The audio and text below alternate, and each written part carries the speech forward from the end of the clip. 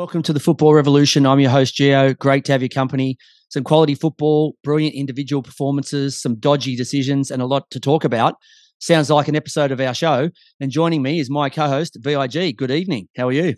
Good evening. Very good. How are you?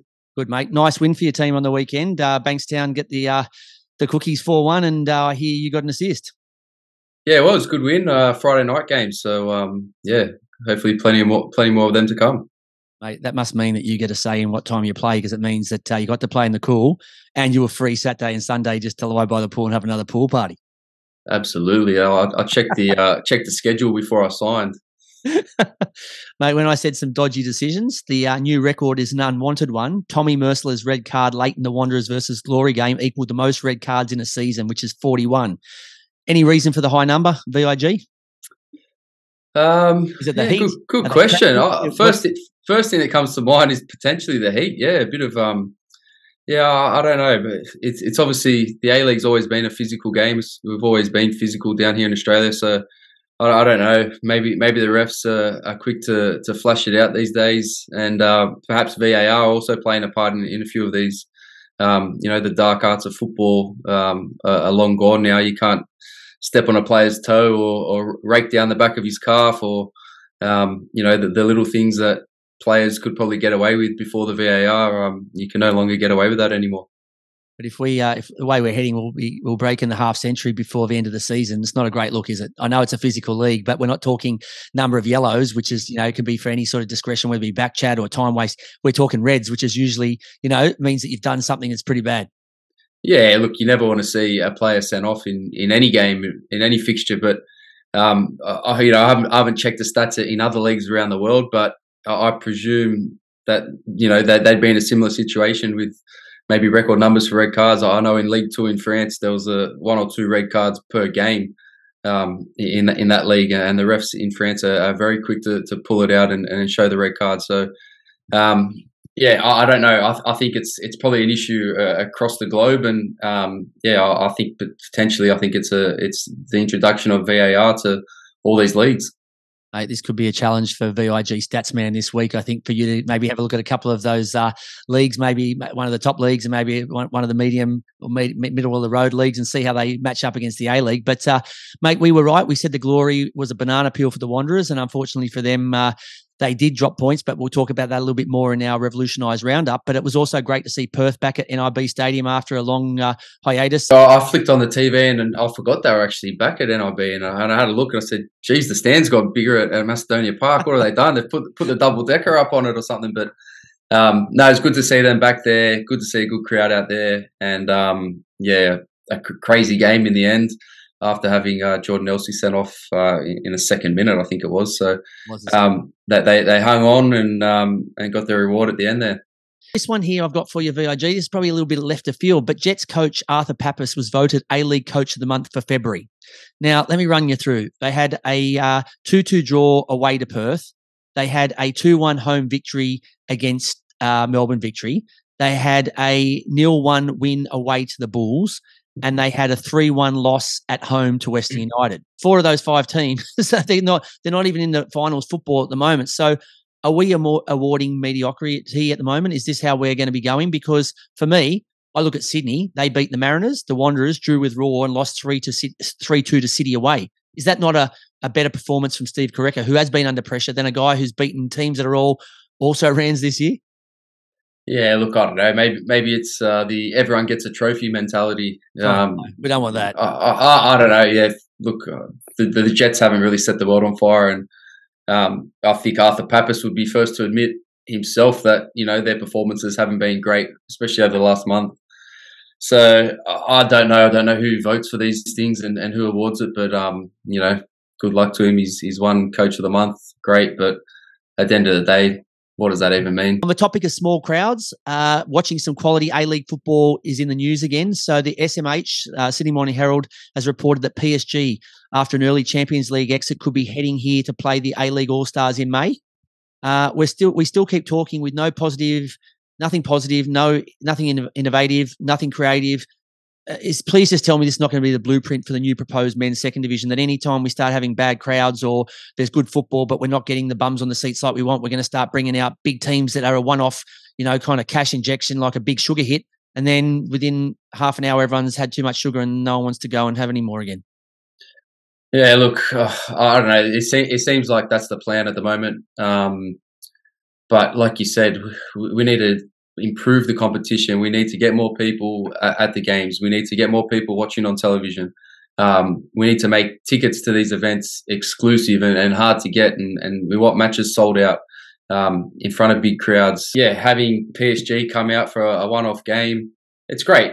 Don't get me wrong. All right, it's great for the kids to go out and, and watch these stars that they don't always get the chance to see, and um, you know, it's it's it's good to have teams of that caliber out here and players of, of that caliber, some of the best in the world. But at the end of the day, what's what's the knock on effect from that? How are we turning that into bums on seats in, in the A League week in week out? Because they did the same thing last year with Barcelona, um, and you know the return from that this year hasn't been a positive one. So also they did, buy a jersey out of it, so that was at least one win for them. No, but I, have actually been to. I went to the Camp Nou and bought this okay. at the Camp Nou. So um, how about that? So our 160 kilometre for AVM update, Superhuman Bulls physio Brendan BMW Wyatt's upcoming run on the 15th of April in memory of Bulls skipper Uli Davila's wife Lily to raise money for the Brain Foundation Australia. BMW has ramped up his training and is now running more than a marathon every weekend. So he is absolute crazy. He's a fantastic guy, but he is crazy because, like I said, he's running, you know, this this this amount of distance every single week. Um, and he's even squeezed in uh, a few TV appearances on Network 10. So uh, it's been a cracking week for him. Uh, uh what he's doing is, is, surely needs to be on the TVs. But uh, that also said, surely the home of A League, the A League TV rights and the A League governing body, uh, Football Australia is going to tip some money in for this amazing cause. NRL has Beanie for Brain Cancer and all these sorts of rounds they do. Surely these guys here, the powers to be here, can have a round for for um, Brain Brain Foundation Australia, where a dollar from every ticket sold at the gates goes towards Brain Cancer Foundation or something like that. The goal has been increased to ten thousand, currently sitting at just over five thousand six hundred. So still some work to do to reach the new target. So please go to the mycause.com.au link we have set up on our Direct Me page to donate. Also, the run is from Avalon Beach to Wollongong. So if the listeners, their family or friends would like to participate on the day, everyone is welcome to run, ride, or whatever you like to support BMW in his 160 kilometre quest. We'll have another update next week on BMW's progress uh, for you.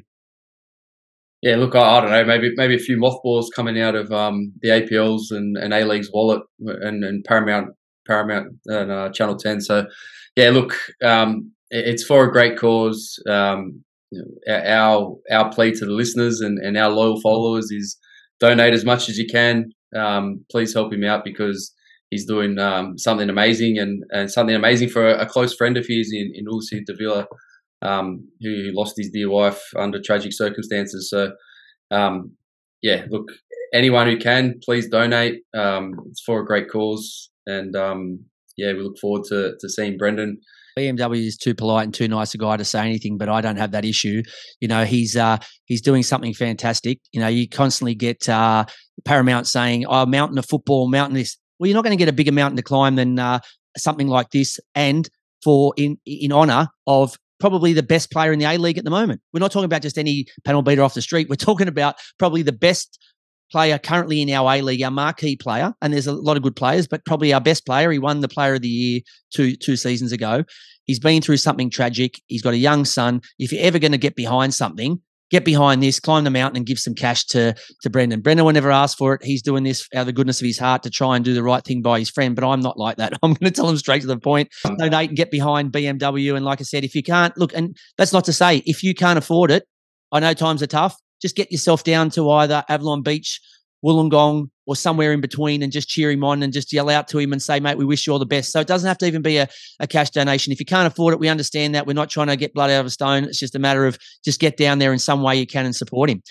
Player escape room, Adelaide United defender Harry van der on the comeback trail after a long injury layoff joins us for a chat. We wrap up match day 17 of the A League women's competition, revolutionised roundup of the weekend's men's fixtures. Is there anything I didn't see? VIG. Yeah, I'm going to throw a, cheeky little stat at you that came from uh, the W League game this afternoon between uh, Melbourne Victory and Melbourne City. Um, so from from a player's uh, surname finishing with an, uh, starting with an A and, and starting with a Z, um, in, in the space of four minutes, they became the, the quickest uh, quickest goal scorers, which was uh, Melina Ayres and uh, Paige Zois for uh, for Melbourne Victory. So, uh, previous shortest time between A to Z goal scorer for the same team in any Australian National League game was nine minutes. Um, and this was it's happened on two occasions. It was uh, Francis Awaritefe and Vlado Zoric for Marconi on the 12th of April 1998 and Mustafa Amini and Patrick Zwaanswijk uh, for Central Coast Mariners on the 2nd of December 2011. So uh, it's been surpassed. So the, the, the, fastest time was nine minutes, and uh, the girls picked that this morning by five, uh, this afternoon, sorry, by f- uh, four minutes um, in the Melbourne Derby mate. Uh, when I say is there anything I didn't see VIG, even if it was in front of me, I wouldn't have seen it. You are a freak at that. You pull out the best stats, and like I said, even if that whacked me on the head, I still wouldn't have uh, wouldn't have seen it. So I love it, and I'm sure the listeners will enjoy that fact as well. And uh, it might be a long time between drinks Credit. we get another record like that broken. Yeah, I've, I've pulled that off Twitter. Credit goes out to uh, Andrew Howe, who's a, a bit of a stats guru. That's all right, mate. If he's got, if he wants to take you on any time, I'm happy for him to take on my uh, my TFR um, football mastermind VIG, and we're happy for him to call in, and we have a bit of a, a VIG stats man takes on uh, Andrew Howell if he's keen. But uh, mate, it's a lot better stat than that one of uh, 41 uh, red cards, which equals the uh, the record. So it's a much nicer record to finish on. So quick look at our uh, well, quick quick summary of our A League women's wrap. So Adelaide was good enough at home to defeat Glory 2-1, which makes Perth's hopes of playing finals football even more difficult. Bottom placed Wellington continues their debut season improvement, claiming the huge scalp of the league leaders Sydney FC, thanks to a well taken Kate Taylor goal. High flying Western United leave Queensland with nothing as two clinical finishes by Shay Connor gives the Brisbane Roars top four hopes a big boost and hurts Western's Premier Plate aspirations. Wanderers welcome Canberra United, both teams scoring in the first half but unable to find a winner in the second. Canberra missing a golden opportunity to put the deducted points disaster behind them and to keep the pressure on fourth place victory. And today's game, Melbourne City dominates the game, but the champions Melbourne victory uh, bossed the scoreboard, winning the derby 2 0 and extending City's rough patch of three losses in four games. Victory is now only two points behind their bitter rivals and have moved and has moved them five points clear of fifth place Canberra. Yeah, so Big, big, big uh, win, uh, I guess, this afternoon for victory over City. Um, uh, have Canberra United officially been deducted those points, or the points are still? Yeah, the points have officially. So if we get into the table, so the A League Women's table, Sydney FC on thirty three, Western United also on 33, Melbourne City in third on 28, Melbourne Victory in fourth on 26 after their victory today against City. Canberra United now a fi- further five points back in fifth on 21, and Brisbane Roar uh, one point further back on uh, on 20. So yeah, they definitely have lost the points for now. Hence why even with uh, Sydney losing on the weekend, they're still in the Premier's plate position. But uh, they have appealed.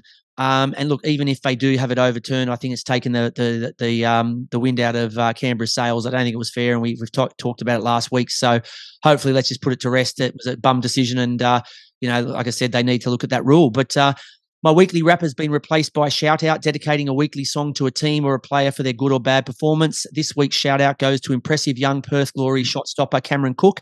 He, his team played for 90 plus minutes with 10 men against the Wanderers, and his numerous saves allowed his team to snatch a late winner.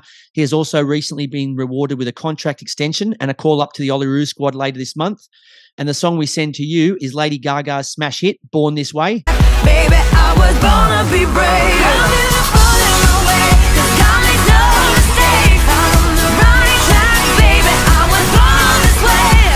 no less than your performances deserve, young man. And we wish you all the best with the Olyroos and the remainder of the season with the glory.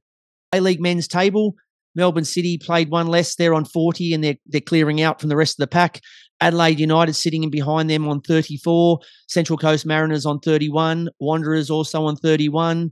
Wellington Phoenix also on 31 in fifth. And uh, four points further back is Sydney FC rounding out the top six. Melbourne City has a hand, one hand on the Premier's plate. Adelaide takes advantage of the results to move into second. Mariners and Phoenix with good wins. And unfortunately, the Jets and Bulls missed the chance to close the gap on Sydney. Yeah, some some interesting results. Um, I think Adelaide probably the the big movers or they take advantage over uh, Central Coast uh, and go up to second. And uh, I don't know if if, if we're going to see a, a, Melbourne City Adelaide final um, at the new Allianz Stadium in Sydney, it's I think there's going to be some issues with that. Um, you better you believe know, it. Let's let, let's hope for for the APL's sake, uh, one of the Sydney teams or um, you know, the Central Coast sneak in, sneak into that final. Right, so let's get into our revolutionised roundup. So uh, we select a match of the day each, and then we do a mini review of the other four games. So we talk about in the match of the day the score, the goal scorers, the players of the game, the turning point, and what we would have changed, either coach VIG or Gio, to try and get a result for either one team or both teams. Uh, so the first game was Perth Glory versus Western Sydney Wanderers on Friday. The final score was 1 0 to Perth Glory. The goal scorer was Irishman Aaron McEneff in the 96 minutes. So a really, really late uh, winner. The player of the match for me, as already talked about our shout out, was glory keeper Cameron Cook. His saves allowed them to, or his team, the glory, to steal the game. In particular, the, uh, flinging himself to his left to deny, deny uh, Schneidling was a fantastic save. I think he he did have a little bit of luck with uh, the post helping him out on a couple of occasions to deny Nieuwenhof as well as Borrello, but uh, he was fantastic. And I thought that uh, he was a big reason why uh, the glory walked away with all three points in their first game back at NIB Stadium. Like you said, Cameron Cook and goals was was brilliant, but um, it, it, was just I don't know maybe playing playing back at back at NIB Stadium. Um, they had a bit of a lift from the crowd, um, so you know like it's it's always it's always difficult after going a man down, but sometimes there's more space on the field. You're a bit more structured, a bit more concentrated, so players have to lift and, and step up, and, and that's what they all did this was a weird one. So the turning point, there was a turning point when Elsey was red carded in only the second minute, which uh, I thought was absolute rubbish. I know they're saying it was a bad tackle, but if you know Jordan Elsey, there's no intent from him. He's not that sort of player. Uh, and it was a tackle that, okay, did injure that player, but he stayed on the pitch. I don't think it was a straight red. I think it was very harsh, especially that early on in the game any which way that happened in the second minute. Um, but the Wanderers never took advantage. So it was a turning point, which they didn't take advantage of. But then in the 84th minute, Tommy Mercer was sent off for a professional foul when uh, Williams got away from him. Uh, and then 12 minutes later, Glory did take advantage of it. So the turning point was when uh, Tommy Mercer squared the ledger and uh, both teams were down to 10 men and allowed, uh, you know, uh, the Glory to steal that win what I would have done to change the game. So Wanderers were unlucky hitting the post twice, Cook pulling off some quality saves and having 29 shots. So maybe it just was one of those days. But I thought Wanderers' formation was too negative. They played a 4 2 3 1. And I would have introduced Yengi earlier. He came on in the 78th and Milanovic in the 86th. How many shots do you have to give these guys? If you're at a um, if you're at a fair or a Easter show or something and you go and pick up the, the, the duck rifle and you shoot and you don't hit a duck, how long do you give for someone before you realize they're not going to win a prize, right? Give someone else a shot. He, they've had 20 something yeah. shots, 22 shots, 23 shots. Get some players on sooner than that. Marko Rudan should have made some subs earlier. You know, you're, you're up a man, uh, be more attacking. Give give someone the freedom to to move forward or or make um make the substitution and, and really put the pressure on Perth, which, like you said, I don't think they did. I think they sort of just were waiting for something to happen. And then something did happen. Mercer got sent off, and, and then all of a sudden, um, you know, the, the game's uh, the game's gone nothing against the Wanderers, but I am happy that uh, that the Glory did get something out of it because they put in a very brave performance, and it would have been very easily when you're not currently in the playoff spots to just throw the towel in, right? But they didn't. They fought their fought their absolute butts off for the whole game, so I think they got what they deserved. Moving on to the first of the Saturday games, it was the Central Coast Mariners hoping to bounce back against the Macarthur Bulls. What was the score here, Vig? Yeah, so this is my uh, match of the round. Uh, final score was 4 1 uh, to the Central Coast Mariners. Goal scorers for the Mariners were uh, James McGarry, uh, Cummings with two, and Marco Tulio with one. And uh, for Macarthur was Danny De Silva. So just touching my, on that, VIG, a change is as good as a holiday. James McGarry scored one goal in 50 appearances at the Jets and the Phoenix, and now has three goals in six games for the Mariners. He does, and I think he's got two goal, two of those goals against uh, Newcastle as well. So he's, he's old. He's oh no, one against Newcastle, one against Wellington. So two against his old uh, his old employers. So maybe this is um, just his four leaf clover club, right? Like seriously, he scored he scored one in fifty, and now he's got uh, and and now he's got three and six. So he's a goal every two games. Yeah, he's he's getting high and in good positions and, and into the box and um, you know, the ball's finding his feet and, and he's finishing. His shot on the weekend was a was a great finish. So yeah, it was classic um, finish. He, he's he's doing he's doing well for for the Mariners, and um, you know, a four one win for them uh, after a couple of rough weeks. Um, you know, hopefully they're they're back on track now. Um, my my player of the match in this one was Marco Tulio. He got one goal and assist. Lo- lovely finish for his goal. Um, he's a player that's been he's been in and out of the team, but he's he's a professional. Every time he comes in, he, he does his best. Um, and for me, you know, he's he's a, he's a bit of a leader in that team where they've got a few young players around him. I know he's got Cummings up top, and, and I actually quite like uh, Tulio and Cummings um, playing together up top. So I think they really feed off each other. Cummings with another two goals uh, you know, he could have been a, a close second, but he's I, I, decided to give it to, to Tulio with his one goal and assist. And uh, what would you have? Uh, what was the turning point for the, you? The turning point for me was half time. It was a, a, different Mariners team that came out in, in, in the second half, and a, a different Macarthur team. And um, you know, we, we've said about Macarthur, they need to find this consistency, and they had a few chances, and they had some good possession in the first half, but they couldn't quite capitalise. And uh, they go into the break at, at one all, and then they, they come out after the break and, and they cop a goal, you know, pretty much straight off the bat. So um, a tale of two halves, but you know we've said this a million times in football. Half time can can change a, a lot of things, and you, you, get in. The coach has a chat to your players. It's how those players come out and respond. And we saw Central Coast come out and respond, and we saw Macarthur pretty much stay in the shed. So they um, a little bit yeah, that that literally that that that's that that was it. So the second half they just they just wilted. They, they were nowhere to be seen, and and Central Coast just blew them out of the water in the first fifteen minutes of that second half with three goals. What changes um, are you making? Yeah, what I would have changed. So the, the Mariners had a young, young, inexperienced Cameron Windust at centre back, partnering Daniel Hall, who's also fairly young. Yes, he's he's played you know a couple games in the A League, um, Windust, but he's I would have I would have targeted him. I would have tested him more. I would have put some some more balls into the box. I would have had players running at him. Um, I feel like they were just Macarthur just a, a, bit timid. They they didn't really. No one stood up and and really uh, put themselves in. You know, take the game. You got to take the game by the scruff of the neck sometimes, and you got to make things happen. And no one did that for Macarthur. And I would have been targeting the, the, the two centre backs because as a pairing, I'm not sure how many times they've played together. Mate, question for you before we move on. Do you like what you've seen from Bulls under Sterjovski? So seven points from 21. They've conceded a massive 20 goals and only scored nine. Well, when you put it like that, plain as I know. I probably plain, put the noose around his neck, but I, plain, I plain, as, plain, as, plain as simple is a no. Like, you know, seven points out of 21. Yeah, not not great. Um, they're conceding, you know, three, four goals a game. Um, not great. So defensively, uh, it's for, for me when I watch them defensively, they've got no structure. It looks like the players are just doing whatever they want.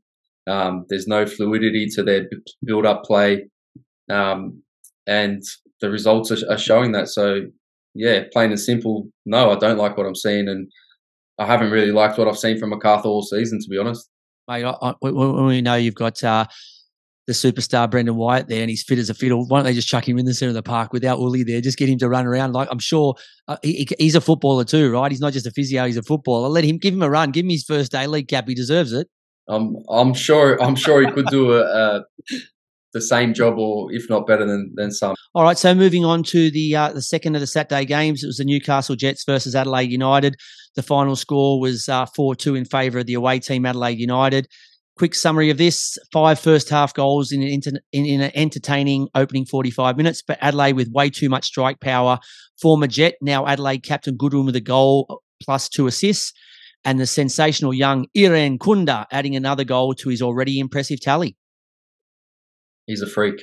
He's a freak. Um, yeah, look, goal, goals galore, which we love to see as a as a football fan, especially a neutral. So um, like you said, five goals in the first half. Uh, there was plenty of action, um, and you know, a, great advertisement for for a, a lack of defending um, in this fixture. But yeah, look, Irankunda off the bench again and, and scores. Craig Goodwin with another goal. Uh, I think Zach Adelaide are just too professional, one. aren't they? For for uh, for the Jets outfit, they're just too good.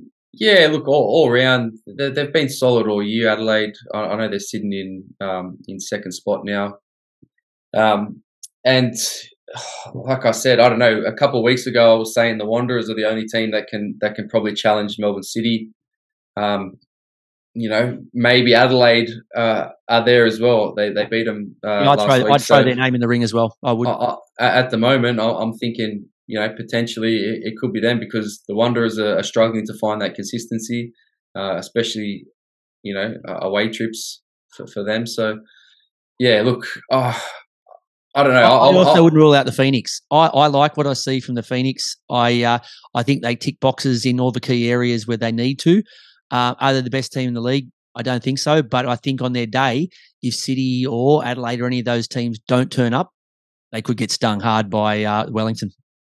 Yeah, I'm I'm I'm in for that as well. But yeah, like I said, I, I thought in my head it was it was the Wanderers that, that were going to challenge. Now Adelaide are sort of creeping up and and maybe taking over them. And, and like you said, Wellington, um, they have they have up top. They've they've got goals galore in them. So um, we'll, we'll talk about that now. All right. Speaking of the uh, Wellington Phoenix, they uh, hosted Sydney FC in the other Saturday game. What happened here? Yeah, so it was a one 0 win to Wellington. Um, it was uh, Ufuk Talay's hundredth game in charge. So uh, against they, his uh, old club too that he used to against, play against his old club, against his uh, his old teammates. So I hope hope the boys took him out uh, for a couple of drinks after the game. But um, it was uh, Oscar Zawada who continued his hot streak in front of goal. The striker scoring the only goal of the game uh, to help Wellington to to one 0 win. Um, you know, I thought Sydney in the second half were were really good. They they threw everything at him, but uh, Wellington uh, withstood uh, the pressure and um, Zawada's goal. It, it, was it was a nice nice finish, a, a nice ball into the box by uh, Lucas Mauragis, and he, he just out jumped, out muscled Joel uh, on on the back stick, and um, you know I was a little bit disappointed with the the Sydney lineup. You know you, are playing two left backs, Caballo and King are playing. You have got Patrick Wood on the bench again, uh, Kucharski on the bench. Um, you know, like what what do these young kids have to do? You, are playing without a, a, an out and out striker. Uh, you got Robert Mak up there, uh, drifting in and out, and and you know he's more suited to to wing. But I don't know. I don't. From Sydney, it was disappointing that yes, they had a lot of ball and a lot of possession in that second half, but a lot of their chances came um, from outside the box, from from long distance shots. So uh, creative wise, I don't think they were you know being able to penetrate it and, and make that final pass or get it into the box to, to an out and out number nine who can sniff around the box and, and create something. Um, so a little bit disappointing for me from Sydney, but let me throw um, two things at you then. So Zawada with his 12th goal of the season, is he the buy of the year? Look, he, he's going to go close. Yes, I think who, who, who stands up to him then? After you get a guy who comes in you know, they had Tomer Hemed there before he went to Wanderers the season before, and they were relying on a lot of goals from him. Last year, they didn't have someone who was bagging them, you know, and, and basically leading from the front all the time, as well as they had Ball and other guys around there. They didn't have someone who's going to get their 15 or 18 for the season. Who else? If, if it's not Zawada, who who is the buyer of the year? Yeah, I, I, don't know at the moment. I like I, I like Marcelo at, at, the at the Wanderers, but you know he's been a bit hot and cold of of late. But um, look, Zawada, you, you, can't you can't deny like the stats speak for themselves. You know, twelve goals now. Um, we'll see. Let, let's see how far Wellington go if they can make a push. Uh, uh, you know, make they need to first cement their spot in the top six. Six, but if they can make a uh, a push in the finals, then uh, maybe he is the buy of the season. Okay, and Payne's tackle on Mak penalty or no pen? Simple answer. Mm, I'm saying pen. I'm saying pen too. Uh, I thought he definitely got enough. Uh, he definitely got enough. Did he get out of his way? Did he have to get out of his way? I don't think he needs to get out of his way, but he left his leg there long enough for him to stop Mak from progressing into the box. So yeah, I'm saying I'm saying penalty. It's it's it's a bit disappointing. I've seen him go both ways, but I don't want to be too biased as a as a Sydney FC fan. But I'm not a Sydney FC um, fan, yeah, but I would, have blown, right. I would have blown a pen. I'll, I'll, I'll take it. I'll take it from you then.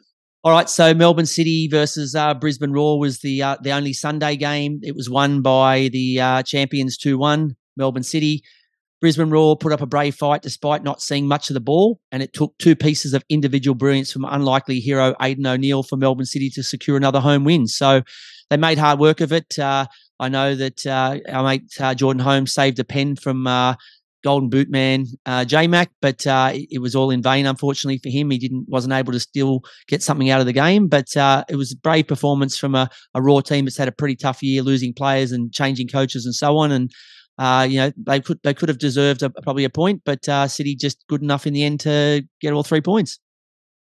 Yeah, and an unusual goal scorer for City. You know, J Mac missing a penalty, and, and Aidan O'Neill steps up with uh, with two lovely goals. So, um, look, they're just they're just a class team. They've got you know plenty of depth. A um, little bit of a, a, speed bump last in, in the road last week, uh, losing to Adelaide. So uh, they've come back and, and rectified that. And at, at, the end of the day, yeah, Jay Shea gets one back uh, with with a penalty, but um, you know, I think City just just too good all round and, and, and too strong as a squad, and, and that's why they're top of the league. All right, and moving on to today's game. So if you're in Melbourne, uh, you got some nice football on your public holiday. So the victory uh, hosted Western United in another derby. What happened here? Yeah, not not a bad game of football. Just finished up watching it. Um, two one to Western United in the end. Um, so commiserations to to yourself, but uh, goal scorers for, for Western United were Noah Botic and uh, Prijovic with the winner. And uh, for victory was uh, Fornaroli to, to get it back to one all. Um, so, look, I, I, think victory just, they've been the same for me all season. Um, just haven't been desperate enough in, in both boxes. Um, defending wise, shutting down players, stopping crosses coming in, uh, a little bit pedestrian, uh, players sort of standing around, not going to the ball. Um, and and up top they just haven't created enough. I, just look for me. Popper hasn't got the best out of his players because when you look at their squad on paper and the players they've got, the players they've brought in, um, they, there's no way they should be sitting last in the league. Like no no no chance at all. Yeah, look, I think uh, as disappointing is to see a team like Victory with the players they have, even though they've had you know some some key injuries this year. It's disappointing to see them uh, you know lose the game. But I'm equally as excited watching someone like uh, Noah Botic, who's um, a young Aussie player who's coming up, and like I said, the guy each week now is just uh, delivering uh, week in week out he's showing up some of the bigger names in the Prijoviches and the uh, Diamantes and these sorts of guys. And when you've got players like this in your squad, usually they dominate the headlines, you know, your Lachie Wales and your Connor Pains and that. And at the moment, all it seems to be all about is Noah Botic. And I think he deserves every bit of uh, headline he, he's getting. He's, he's fantastic. Hopefully this run keeps going. And uh, like I said, you know, he, um, he turns into not only the main man for Western Western United, but he also uh, can do some great things for our Australian uh, under under uh, Olympic squad or for the for the national team. Yeah, I think he's just been picked in that uh, the the next um, run of games for the for the Olympic. I think the qualifiers. So yeah, brilliant. Um, ho- hopefully, he continues that form for the Olyroos and and gets us to another um, another Olympic Games in uh, Paris in twenty four. All right, that's the end of our revolutionised roundup. Up, up after the break, we welcome to the player escape room a young man hoping to be back soon to help his teams push for silverware. Adelaide United's Harry van der Saag joins us after the break. Speak to you then. You're listening to the Football Revolution. Joining us now in the player escape room is a young man who we're all looking forward to seeing back on the pitch. Please welcome to the show Adelaide United's talented defender, Harry van der Saag. G'day, Harry. Welcome to the show. Hey mate, uh, it's good to be here. Um, yeah, I'm keen to see what it's all about, and I'm keen to get started. Mate, how's everything with you? Yeah, no, it's gone well. Um, actually, just started running yesterday, so uh, hopefully another maybe four or five weeks, and uh, should be back on the pitch. Yeah, mate. Look, I'll, I'll touch on a little bit for listeners. So, uh, in December last year at training, you suffered a tear in your right medial meniscus, which required surgery. Uh, devastating not only for you but for the club because uh, you know you were starting to really find your feet.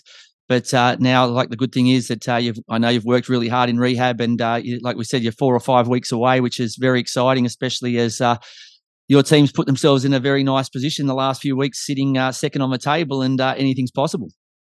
Excuse me. Yeah, the boys are doing really well. Um, you know, getting, I think we're unbeaten in eight games or something. Something I think something like that. big result on the weekend against City. So, um, you know, if the boys can keep getting some more wins, I think we'll be put ourselves um, in a good spot for finals football. So at the moment, mate, are you just uh, basically is it weight training and all that sort of stuff? Is that the slow, steady back back onto the pitch? Yeah, I had a bit of a bit of a slow burner for my rehab. Like I had to just because of my my certain surgery, I had to wait twelve weeks before I could start running. So I'm at that you know 12, 13 week mark at the moment. So it was a bit um, bit boring and a bit slow at the start, but you know once I I got off crutches, it sort of you know it was a bit more exciting. You know, doing yeah, it was a lot of gym, um, a lot of sort of fitness on the assault bike, um, and all that sort of stuff. But now I'm on pitch now, so hopefully it goes a little bit quicker. Mate, were the uh, crutches were they put as firewood? Were they pitched off a off a bridge? What was happening? Because you would have been damn sick of those. Yeah, so I was on crutches for six weeks. Um, so that was that was a bit frustrating. That was sort of over Christmas time as well. So you know what, not a nice time to. It's a nice time of year, you know, to be with your family and stuff. So my family had to come down to Adelaide and sort of see me on my crutches. Uh, it was nice, but it was you know, it was a different Christmas this year. But um, yeah, it was definitely a bit of a slow burner. But you know, I'm glad to be off them and um, sort of back on the mend mate. You were settling very well at Adelaide. You scored your first goal against your old club, Sydney, to snatch a valuable waypoint for your team, and then the injury occurred. What has been your role in the team since you've been sidelined? So, uh, are you the joker? Are you the water boy? What's what's the gig? What are they giving you? Oh, probably I just try and stay out of the boys' way. You know, um, I try and you know do my thing in the gym and um, yeah, not too much to be honest. Uh, it's a bit, it is a bit lonely, I think, when you're injured sometimes. Um, you know, we've been pretty unfortunate this year. Um, we've had a few pretty tough injuries with Juande and um, recently Juande and George, uh, and sort of Stevie Hall as well hasn't really caught a break. So I haven't been too lonely, but yeah, I try and sort of stay out of their way and um, try and do my own thing. But yeah, I haven't, you know, just sort of trying to get get on with it mate, talking about lonely, and like I said, I think all players have been there. I used to back in a million years ago when I was playing too. But uh, tell us how you tackled the physical and mental recovery, mate. It's not easy. It's uh, you know, like I said, besides having to go in and every day doing the physical shift, it's a mental challenge as well. And looks like you're you're traveling really well with that. So can you tell us how have you dealt with that? Yeah, I've been pretty fortunate in my career so far. I haven't really had any injuries, so um, yeah, I think I've handled it okay. You know, you know, you have your days where you're you're, you're down and gloomy, but you've got to sort of kind of look at the bigger picture. Um, and you know, it's it's a sh- it's you know, you got to look at the bigger picture. You know, like I'm I'll probably be out for about four four to five months, but you know, I could have been an ACL or you know, poor old Josh Cavallo in our team's just done his Achilles, so you've got to sort of kind of put yourself in other people's shoes as well. You know, you've got to get on with it, and you know at the end of the day, I do what I love. You know, um, I know a lot of my mates who are you know digging holes on forty degree day. So you got to kind of look at the bigger picture. Um, if you've got to do rehab for three or four months, it's it's what you got to do to get back what you do. So um, it is it is what it is, to be honest. Nice, mate. Mate, you made the move to Adelaide after a few successful seasons at Sydney FC. Why the change, and how's life in SA? uh, I just think it was a uh, maybe get out of my comfort zone a bit. You know, I was I was at Sydney. I had such a good time there with all the boys, and you know, made some really good friends. Um, and I'm still close with some of them now. But um, I think it was probably just a, a right time to move on. Um, you know, I had I sort of was there since I was 18, 19, and you know, I wanted to probably play a little bit more. Um, and you know, Sydney's quite a tough team to sort of crack it in there. They're, they're always, you know, top, top two, top three team. Um, and so I just thought maybe Adelaide would be a good fit for me. I know um, when Carl sort of came up, uh, the opportunity came up. I didn't really want to let it pass, and um, yeah, I thought it was a good move for me. And you know, started well, but obviously the injury was quite unlucky. But you know, I'm really loving life here in uh, South Australia. What's the biggest difference, mate, between living uh, in South Australia compared to living in Sydney? Probably traffic, to be honest. Oh, that's good. So you know, yeah, I'm a big fan of traffic. I don't think many people are, but yeah, uh, no, definitely le- less traffic. Um, but yeah, it's a really nice place. Um, it's like a quite small country town. Obviously, a lot different to Sydney, but no, I'm I'm loving it. Um, I'm really enjoying life down here. It's really nice in the summer. Um, there's really nice beaches, nice cafes, and restaurants that I like to go to with some of my mates. So, no, I'm really enjoying it. The other thing that you probably don't miss is the fact that when you travel around Sydney now, it's fifty dollars for tolls to go anywhere. So in Adelaide, yeah, I'm guessing right. they don't sting you as much as they do here. So you can just go for a nice drive, and and it doesn't cost you fifty dollars before you even get to a cafe. Yeah, that's so true. Actually, that's the, that's true about Adelaide. You know, like if you want to go to some part of Adelaide, it's like everything's pretty much fifteen minutes. In Sydney, it's like close to forty minutes from each place. You know, so I'm starting to rethink where I'm living now. I think I'm starting to make myself feel bad uh, with all the stuff that we have to deal with in Sydney. But uh, mate, what do you miss most about Sydney? It, all jokes aside, it is still a, a, cracking place, and uh, as Adelaide is, what do you miss most? Probably my my family and and my uh, my close mates. Um, especially you know that I've been injured. It hasn't been easy. You know, I sort of I moved down here to play football, not to sort of you know be injured. So um, yeah, I definitely miss my family and friends, but you know that's the sacrifice you, you have to make to be a if you want to be a footballer. So probably yeah, my friends and family most. Mate, as soon as you get back on the pitch, they'll be looking at the uh, the fixtures to see uh, when you're coming to play the Bulls, when you're coming to play Sydney FC, and so on. And that's yeah. how they build their their schedules. And that's what I'll be looking down the barrel of. I think in a few years' time, when my young fella gets from under 12s up to, to, to hopefully the level you're playing. Yeah. Is the player mate you wish had followed you to the Reds? I know, like I said, you're very close with your teammates now, but is there? I usually find with the when I speak to my guests that there's usually one player that you would would wish that came with you. It's just someone that you just click with a little bit better than most. Is there someone at Sydney FC that uh, you wish had followed you down to uh, Adelaide? Um, yeah, probably Joel King. I'm okay. pretty close with Kingy, but you know he's he's doing really well. I think. Um, obviously he got to move to Denmark, and he's now back in the A League. So um, yeah, probably I'm pretty close with Joel. Um, but yeah, yeah, yeah. There's a few boys. You know, it's hard to name one or few, but probably maybe Kingy or you know Patrick Wood. I'm good mates with them. So yeah, nice. I, I, bet they're all waiting for you to get on the pitch so they can uh, have that rivalry started back up again. But uh, yeah. mate, besides recovery, what else has been filling in the temporary football void? Have you got any new hobbies? Is there something new you've started doing? Are you painting? Are you, are you sewing? What are you doing? What are you? What's filling in time? Oh, it's quite funny because we had a you know we had a break for the World Cup. You know, I got the chance to go back to Sydney, and then that was sort of when my knee was a bit started having a look at it. And I actually brought my surfboard down, you know, because I knew we were coming into summer. So I, I, would have liked to have a surf down here, but obviously I, I had the surgery in the middle of summer, so it was um that was probably one of the main things. Otherwise, I I like going to there's some really nice beaches down south here. Uh, you probably travel about an hour, so I've been doing quite of that. You know, I love going down to the beach. I think it's just a nice nice way to re- uh, refresh your mind. On the bright side, though, it's it was something obviously we wish hadn't happened to you, but you're still very young, right? So you still got plenty of chances to do your surfing and, and get on the pitch. But uh, mate, I'd like to play two games with my guests. The first one being six aside, where I ask you six questions comparing you and Adelaide teammate. You ready to roll? Yep. yep, let's do it. All right, first one. Who is more competitive, you or Ryan Kitto? Oof. That's tough. I, I, I think probably I think yeah, Kitto, Kitto is very is quite competitive. I think yeah, probably kids. All right. What what's he do? Is there something? Is it uh, whether it be you know it's something that you do at training, or is it something outside of training? Whether it's golf or whether it be you know a pool or something. Is is he always wanting to win? Yeah, he's always he's got that. Yeah, Kits has got such a good mentality with that. Um, all I, all I got to say with that question is probably if if I'm on like small sided games, I want to be on Kitto's team. You know. okay. All right. Who is more likely to be late to training or to the airport for an away game? You or Nestory Irankunda? yeah, that's Nesta for sure. Hundred percent. Yeah, hundred percent. Even if he's got the folks driving him to the to training and game, he's still going to be late. Hundred percent. Okay. 100%. Is he what's what's the last thing he was late for? If obviously you, you get to notice a bit more because you're not playing right. When you're playing, you're obviously more focused on yourself. But when you're out injured, you're, you're kind of noticing a lot of stuff, and you're probably saying, "I never noticed that before when I was playing because I was so busy doing my own thing." But now you're watching. So, is he just late to everything?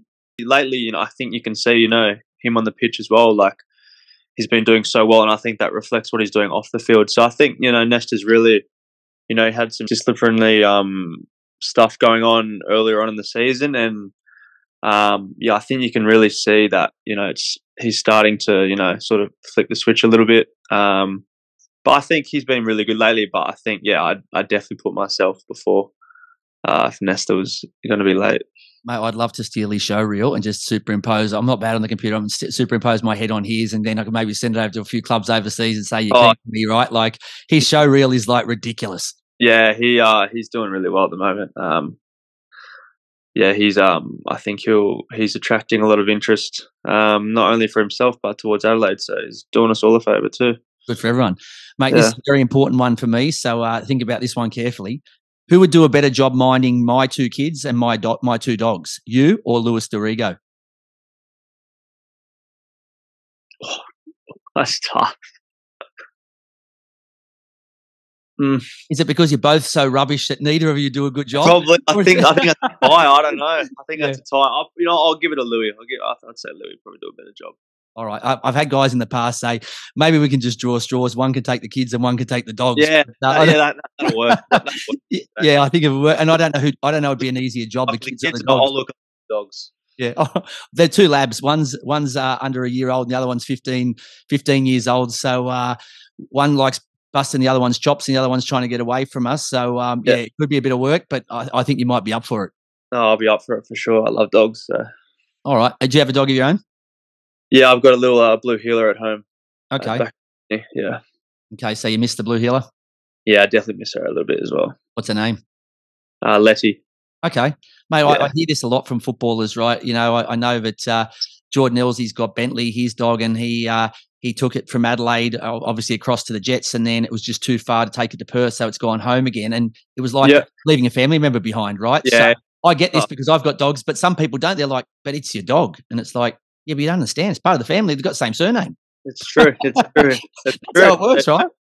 That's right. No, it's tough. Um, I definitely miss my dog a lot actually when I go back to Sydney, it's like it's so good, you know, I get to see my dog and stuff. I was thinking about getting a dog here, um, but you know, it's tough because like, well, when I was playing, you know, you're away every every one or two weeks, so it's, it's kind of unfair on the dog. Yeah, mate, you just got to wait till you hang the boots up. But uh, that's right. Who's the uh, who's the better dancer, you or Joe Travolta Gauci? I can't dance, but to be fair, either can Gauci. So um, you know, I'll, I'll, give it a Gouch. He's got the confidence, so he, he can take that one. Mate, we I'd asked him that question the week before the first uh, video came out from Network Ten, showing him doing that dancing in the in the uh, change rooms. Yeah, and I and I took some blame for it because I know that he he likes to dance, but I know his partner doesn't like him dancing. So I've taken some some of that responsibility because I think I I revved him up a bit, and I've seen it happen a few times since. So uh, yeah, look, I, look, I, I, don't know if he's good or bad, but uh, he gets A for effort and uh, A for confidence. So, um, all right, so he's he's got you covered on the dance yeah, floor. I think he actually got me covered there. All right. Who is mo- more likely to pick up the bill? So, if you're out together as a team and there's multiple people there, who's a chance of picking up the whole bill? You or Zach Clough? Cloughie, hundred percent. I'd make him. I'd make him pay. oh, you make him pick up the bill? Hundred percent. Because and, there's no, and there's no hesitation from him. Oh, I think there'd be a little bit. You know, he loves telling us about how he used to play at Nottingham Forest, and he's he's mates all these Premier League players. So you know, no mate, no worries, mate. You can you can take the bill then, buddy. But oh. nah, yeah, I think yeah, Cloughie's a top guy. He would definitely mate, take the bill. I've got no problem, but I'd, I'd, let him take it. You're too nice a guy, Harry. So I'm going to get you to chuck someone in the bus here too. Is there someone there who would just run from the bill? Like I, have seen players before where they make out they've got to take a call or they've got to go to the toilet or something comes up. Is there someone there who you just know that? And the funny thing is, it puts a target on you because when you do that, everyone wants you to pay then. True. Um, no, I think it, to be fair, I think everyone's pretty good. If I'm going to say it's anyone, I would say Asad Kasumovic. Okay, no chance. He, he's he's got he's got uh, short short arms and long pockets, right? no, but I'm sure he'll. I'm sure he'd pay. But I can't really pinpoint anyone. But if it was going to be anyone, I'd probably say AK. What about the What about the gaffer? Would uh, Carl Veart or would, would Millsy Milligan pick up the bill? Yeah, I'm. I'm sure they'd they'd, they'd uh, pick up a bill. I've seen Millsy pick it up plenty of times, so uh, I know he definitely would. I don't know about Carl, but I know Millsy 100 percent would pick it up. Yeah, probably yeah. Pick, he'd probably pick up a few other tables on the way as well and pay theirs. Yeah. He's a good. Nah, they're good. Guys. They're good guys. I'm sure they would. They'd definitely pay the bill. Who would make the better Hollywood actor, you or Alexander Popovic? Probably Popovic. Okay. Yeah. Yeah. What, what, sort of movie would you see him in? I reckon like goal four. If there's going to be a goal forward, probably Alexander Popovic. Doug Munez has got the bin. I reckon Popper's probably he'd probably be a goal four, starring Alexander Popovic. All right, and you you you just give it to him because he's good, or you're just not keen on being in front of the camera, or what, what's the what's the deal with you? I don't know. I can't really see myself being in a Hollywood movie. To be honest, I probably couldn't like yeah, I'm not a very good. Well, lucky you're a good footballer then, right? Stay, stay focused for a certain amount of time. To be fair. Well, thank the Lord that you got you're good at football, right? Yeah, so, that's right. If that's I, if I would be football, I'd probably be a tradie. So that's probably the other thing. Mate, there's nothing wrong with that. Your mate, you're telling me you nah. mates holes in that, so we just yeah, mate. You don't want to offend your mates. yeah, I'll be there with them as well. Mate, one bonus one. Tell us one thing you know you're much better at than a teammate. So you only arrived at Adelaide this year after obviously leaving Sydney. When you yeah. walked in, there's one. Is there one thing that you noticed straight away off the bat? You got a free hit here that I'm definitely better at this or that than this player. Um, no, not necessarily. Um, you know, I don't try and compare myself to other people. You've definitely got a better mo or a better hairstyle than uh, plenty of guys down in Adelaide. So no, I think I, think you're being kind. I think you're being kind, mate. Like I said, I, am not going to throw anyone under the bus because I, I want to make sure I can still get Adelaide players on the show. Oh, I got a bad one. Asad Kasumovic. He was rocking a. Uh, he was rocking. I, I, I actually sort of come up with a nickname. I started calling him Lloyd Christmas because he looked like the guy off Dumb and Dumber. yeah, okay. he had like the fringe like that, and I'm going, mate, what are you doing? Like, so now he's fixed it up. He's got his like curly perm, so it looks a little bit better. But you know, he was uh he was definitely rocking the Lloyd Christmas haircut for a while. As a, as a footballer, that's one thing you definitely can't get away with is, is, average hairstyles or probably average dress sense. Probably the dress sense maybe a little bit, but uh, hairstyles definitely not.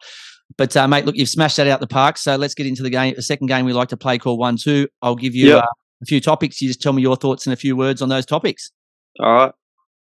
Captain Courageous, Craig Goodwin yeah, he's uh, you know, that's that sort of sums him up. Um, you know, he's a perfect leader for us on and off the field. You know, um, and he's actually the perfect example to you want to be like him. You know, look at him on the world stage. You know, killed it for Australia, so that's perfect for us young boys to try and aspire to be like. Yeah, he's absolute cracking guy, and uh, killed it at the World Cup, and uh, look, yeah. hopefully uh, Adelaide can hold on to him because I'm sure there's plenty of big clubs around the world, and if they're not, then they've got rocks in their head because uh, he's yeah. some player, and you want a guy like that around your club who sets a great example on and off the pitch, like you said. So, mate, not surprised at all. Your skills in the kitchen, cooking. Are you a good cook now? You're in Adelaide by yourself without the family. Yeah, I'm actually okay. That's good. Um, I just sort of rotate steak, salmon, and chicken each nice. week. Just the protein here. And uh, yeah, well, I have I haven't been running, so I've got to eat. I've got to kind of eat well. Um, so yeah, I just try and rotate that, and maybe add a spaghetti in every now and then. Mate, I'm impressed, mate. This is something I've learned about you today. Oh, yeah, mate. Like I said, a lot of guys sit there and they uh, um and ah, and then they start pointing for the uh, Uber Eats uh, barcode or you know the, the QR code and all this sort of stuff, or saying, "Oh yeah, I'm not bad." And then I ask them, "What dish do you make?" And I can see they're going on their phone trying to find a dish that will, will sound half decent. But mate, this yeah. is good. Mate, this yeah, is- I, I, find you know the simpler the better. I just sort of put a salmon and, and a salad together. I just yeah, it's, it's pretty. It's you try and make it as simple as possible. Otherwise, you just you're just looking at too many recipes, and then you end up. That's when you end up ordering Uber Eats because you can't cook it properly. You know. Bravo, Harry. I'm impressed. Carl Veart. Um, very like reserved. Um, but I like that because you know you um, that's kind of what I I kind of enjoy being coached under. Um, me personally as a player, he's really like he's quite a very good man manager. He knows how to manage his players very well. Um, and for me, he gets the best out of all of his players. So yeah. And if he's a little bit quiet, how do you guys know when he's cranky as right? When obviously, you know, there's if if you got touched up like uh like United did by Liverpool 7 0 the other day, then it would, yeah. it would, be hard to work out the gaffer's not happy. But if it was a close game where you think you guys have played pretty well and maybe you've just made a mistake, uh, like against Wanderers, where, you know, three guys watched a guy skate past and did little yeah. and whatever. But how do you know if Carl not happy? Oh, I'd probably tell you that there and there on the on the pitch. To be fair.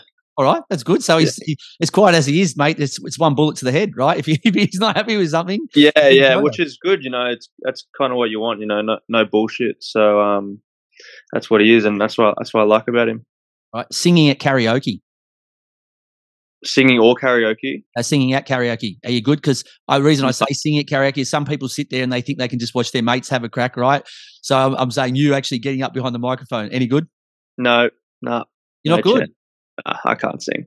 All right, but do you have a shot or no? You just just no. Pass? No, I'll just uh, I'll probably watch. You sing in the shower? I do actually sing in the shower. To be fair, depends what time. If I'm in a good mood, I'll sing in the shower. But all right, what's what's uh, what's your favorite? Who's your who's your favorite? If you could go see anyone live, band, uh, band, in, yeah. Um, I've only really been to one con, one uh, two concerts, Amy Shark and Dua Lipa. So, um, that's good yeah, enough. I didn't, I didn't, mind them, but I, would probably I'd like to watch um, Sticky Fingers. To be honest, okay. that's I, am trying to put it out there so that if any of these promoters are listening, they go, "Oh, here we go, Harry Van der Saag. Here's two yeah. tickets, or three tickets." Oh, I'm trying my best, mate. I'm trying to get, get you something. you know, I, am a bit late with uh, Ed Sheeran, I think, and uh, Harry Styles, yeah, but uh, playing across the road actually, so that's pretty cool. I went to I went to I flew up to Queensland for it uh, to watch Ed Sheeran. He was absolutely ridiculous, and and to watch him go and then sing at the Children's Hospital and do all these things. The guy's an absolute superstar. So uh, yeah, no, he's awesome. If he, if he comes back again, if I was you, I'd I'd be getting there. But uh, celebrity crush can be male, uh, female, doesn't have to be sport. Can be any genre you like. Probably Margot Robbie. Okay, I've heard this plenty of times before. Yeah, I can't remember who it was recently. I I, I can't remember who it was late, lately. I think it was one of the. Uh, I think it was James uh, Nikolowski from the Brisbane Roar. I think he told me that he's, he's a big uh, Margot Robbie fan, so uh, I hear it quite a lot. Do you? Uh, they told me too. She does great movies, right? But I think that's a bit of a cover story, right? no, she is a good actress. To be fair. All right, what have you um, seen her in?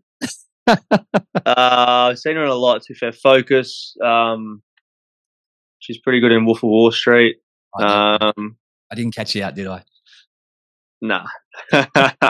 I, I like. I first seen her in Focus. To be fair, that was like I was like, wow, very good actress, and yeah, she's. What about what about footballer? Is there some a footballer that you either that you just look up to uh, outside of Adelaide, or even in Adelaide, or a player that you you kind of have tried to mould your game on? Um, yeah, not a specific player. Um, you know, obviously Messi, Messi's quite good too. You know, everyone wants to be like Messi, but um, personally, me probably, uh, yeah, Alfonso Davies. I like the way he plays. That's sort of um, my sort of position. So um, I try and you know play like him. So it's not easy. Um, he's a machine. So yeah, I'd say probably Alfonso Davies. Nice. Your driving ability. Now I know it's a bit slower over in Adelaide, so you, you don't need to be as uh, talented here. Are you a good driver? Are you uh, are you patient in the car? I I think I am a good driver, yes, but I am not patient. That's for sure. I hate being late. I hate being late.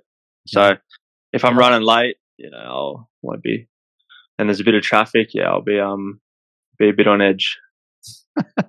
All right, mate. Lucky, lucky. This is another good reason why you've moved out of uh, out of Sydney into Adelaide. The only downside is no family, no friends, and no dog. But you still got no tolls. You got nice. That's right. You got all this nice stuff going on down there. Nicer driving conditions. So there's there's plenty to like about Adelaide. Yeah, it's true. It's true. There's um. I think it's you've got to be a pretty bad driver to have an accident in Adelaide. I think. Okay. Something you've always wanted to do but have never tried. Buck cage diving. Okay. Are you gonna, you gonna have a crack, or is it just something yeah, that's gonna be on your bucket list and you're never gonna? Me, me, uh, and the Spaniards one day and uh, Javi Lopez were actually going to go and do it, but I literally just had surgery, so um, that will probably be maybe on the cards sometime um, in the off season until Adelaide put in your contract, no shark diving. Now they've heard this, so uh, right. When right. they when they when they call you in during the week, right, and to check in how you're going, you'll also see that little uh, little additional clause in your contract. That's right. That's right. That's probably yeah. That's probably true. be in Spanish. You won't even understand it. They'll put yeah, it, they'll right. just put it three ways. All three contracts just in Spanish just makes it easier, right? No, okay, so yeah, uh, yeah. I, I hope it's not too dangerous, but yeah, that's always something I'd love to do. All right. And what motivates you to work hard? Uh, probably my parents. Yeah. Okay. My parents. Yeah, they've sacrificed a lot for you, haven't they?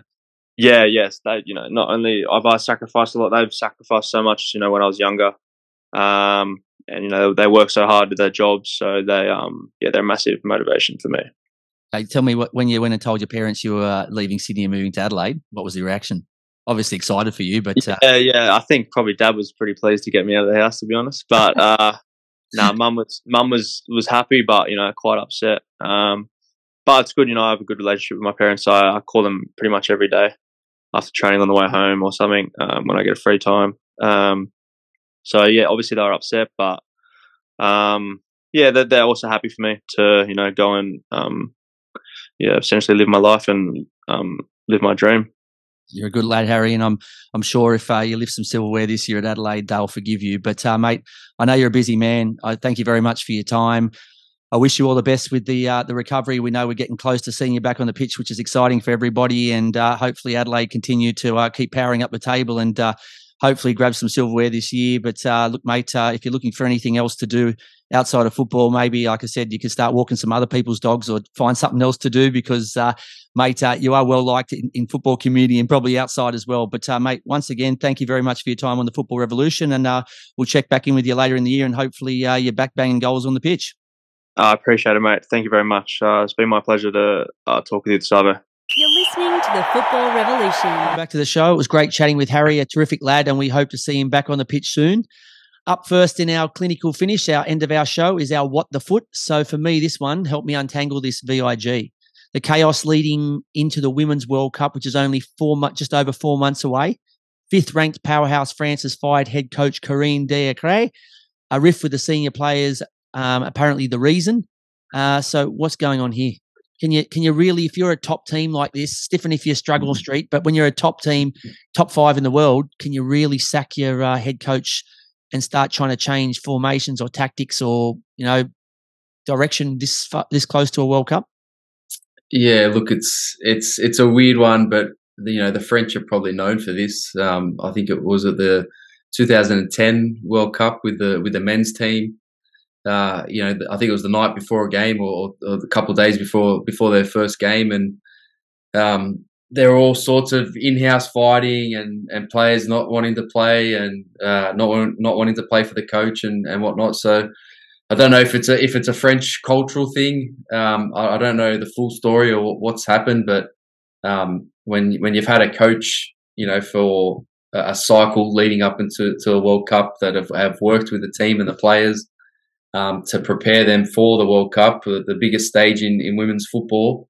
Um, it's it seems an odd one to to have sacked her, you know, a, a couple months out, but um, lucky it is a couple months out and, and not a couple days. So I, I, guess that's that's the only um, you know positive they they can take with it. They can bring someone in and, and someone's got a little bit of time to work with them, but um, yeah, it's it's not a good sign leading into you know the world's biggest football event for on the women's stage look, the jury's out whether uh, it was deserved or not. I don't know. But from her point of view, absolute devastation that you are this close to going and leading your country to a World Cup, and instead now uh, you're not going to be. You'll be at home watching it on the TV, um, like a lot of people. But rumor has it there is a, uh, men's World Cup uh, French winner who's interested in the role, but you know, we'll watch this space. But this follows on from last September, the 7th, where uh, last September, where the seventh ranked Spain had 15 players resign en masse, calling for major changes. And the sixth ranked Canadian players recently threatening to strike in a, a row over pay, which ended with the president of Canada Soccer resigning. So there's all sorts of problems at the moment. I know you think there's some issues with the Matildas, but when you look at this, we seem to be going half decent. I, I think we're going all right when you look we at just this. Won a, We just won a tournament that you loved us celebrating, and holding up a trophy for winning a friendly tournament. But uh, besides that, if that's our biggest problem, VIG, I think we're we're cruising. Yeah, look, and, and we had our uh, the, the, questions or the, the, doubters were out about Tony Gustavsson, but um, he seems to be doing all right at the moment compared to these other coaches who are, who are losing their jobs and, and losing their players. And yeah, look, I, I don't know. I think the, the pay dispute and, and all that, I understand. Um, you know, the female footballers want to get paid more, um, which you know is great. But at the end of the day, you're playing for your your country, and when it comes down to it, I, I don't think money should be an issue when you're playing for your country. You should either want to play or, or you don't want to play. And if you don't want to play, then great, there's the door. Go over there, make your exit. Don't play whatever. But yeah, I, I don't know. It's it's it's t- it's hard to say. Every every nation's different, and and every individual's different, have different motivations. But um, at the end of the day, you know, money money and playing for the national team it shouldn't shouldn't really ever be a, a question. You, you, should either want to play for your national team or, or you don't. That's it. Look, I, am fine with them chasing the money if they deserve it or if, if it's something that they were promised. But don't worry about the players doing it. Just hire someone, get someone to come in and represent you, a lawyer or someone, and just you guys play, train, and prepare for a World Cup, and let someone, a bean counter or a lawyer or someone, go and look after the cash. But uh, games yeah. to watch this week. So much at stake as Adelaide welcome to Phoenix, currently sitting in second and fifth with only one win separating them. A huge Sydney derby with the Sky Blues entertaining the Wanderers. Sydney in danger of dropping out of the six, and Rudan's team in the traffic jam just a little bit further up the table and the Jets take on the glory, hoping to take advantage of any Sydney FC hiccup in the derby. Yeah, look, obviously the, the derby's got a headline um, this week, uh, Saturday night, uh, prime time. So uh, out at Allianz, so ho- hoping for a, a, good crowd out there and, and some some fireworks. Really, uh, we want to see uh, you know the, the fire and the passion and the desire, especially as a Sydney FC fan. Um, I, I want to see that that passion and, and the fight in the players after a disappointing loss on the weekend to Wellington. So hopefully they bounce back from that, and and the same for for Western Sydney um, after a disappointing loss uh, to Perth uh, after you know that playing majority of that match with a with a man up. So um, that, that's going to headline this weekend. But obviously, I, I think another standout game is, is that Adelaide Wellington game, and it's a great test for for Wellington um, to see what they can do away from home. Yeah, look, I, am really looking forward to seeing two excellent teams who are both going really well at the moment. But uh, I just hope for the derby that we get a cracking game, a cracking crowd, and uh, let the best team win. Moving on to our TFR fantasy updates. So, round 21, I stumbled across the line with 74, taking my total to 1,615. I believe you fared a little bit better, my friend. Yeah, I think I um, I've got 101. Uh, final final scores aren't in yet, so let's just give give or take. But my projected score was uh, was, 100, was 101, and um, that takes my total up to 1589. 1589. There we go, 1589. So you're, you're under 30, uh, there's under 30 difference, so you're closing in. So for me. Oh, hold on, I've just I've just refreshed and final scores are in. So my, my, my, uh, I didn't crack the 100, I got 99. And uh, so I'm at 1587. Okay, not many players scoring points for me this week. I traded Fornaroli and Nick Ansell for City duo Marco Tilio and Nuno Reis, who didn't do much better. For me, there was only two hot players. Zawada, my captain, who got 12, giving me 24, and Cummings, who got 23. The cold players, there was way too many to mention, and the show's got to finish, so uh, I won't be mentioning those and the bench was quiet except for Jordan Holmes, who saved J Mac's penalty and scored nine, which was quite a few points more than my starting keeper, Lawrence Thomas. How did you? Uh, who did well for you, and who uh, who sunk? Yeah, Craig Goodwin was fine for me. I think he got 33 points. I had uh, Aaron McEneff on the on the bench, um, and yeah, I think he ended up with 16 points. But fortunately for me, uh, Kalifi didn't play for, for Perth, so McEneff uh, slotted into that to that, and I've uh, I've grabbed these uh, 16 points off that. So you got the luck of um, the Irish. The luck of the Irish. There, there you go. so you know, one player's left out, and, and I've got James McGarry at the back uh, going strong, scoring goals for for his new club, uh, Central Coast. Mate, here comes VIG. I'm a bit scared, and uh, I'm just going to have to brace myself here and hope I can uh, just do what the glory did and just dig deep uh, when I'm running on nothing. So, if you missed any part of the show or you want to listen to other episodes, where can they catch it? Yeah, they can catch us on all good podcast platforms uh, Apple Podcasts, Google Podcasts, uh, Spotify, uh, also up on uh, Football Nation Radio across their pl- platforms, and um, up on our uh, YouTube channel as well. Is there anything we're not on?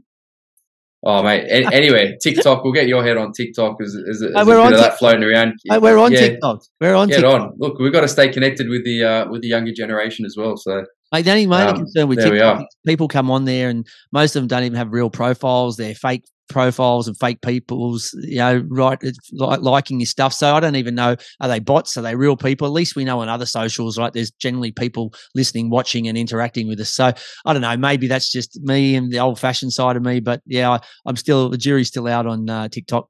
Yeah, I don't, I don't know. I didn't know a robot could make me feel good, but maybe it can. okay a lot more football coming our way. Get out and support your teams. Uh, get out and see the Sydney Derby this weekend. Hopefully, a big game uh, between two excellent teams who have a bit of rivalry out at the new stadium.